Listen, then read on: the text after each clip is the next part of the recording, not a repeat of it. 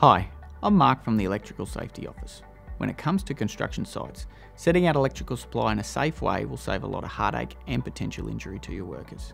I came across this construction site near Cooroy. These sparkies were a great example of how to do construction wiring on a complex site. The site required installation of construction wiring over 12 hectares. Regular electrical supply was more than 500 metres away from the construction zone, making the supply point impractical. Other difficulties included working around previously built homes and within them, working in a variety of outside seasonal conditions, and linking electrical supply across large distances.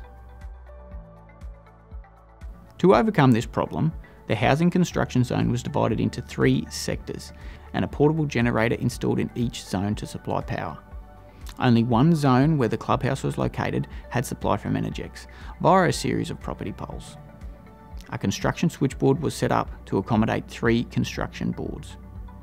Key practices identified of the supply included making sure construction wiring was run via a catenary system along the footpaths outside of the regular trafficable areas, using insulated hooks ensuring wiring was kept away from ground level to minimise the risk of damage, and keeping wiring at the required heights where it did need to cross a road or trafficable area to avoid accidental contact.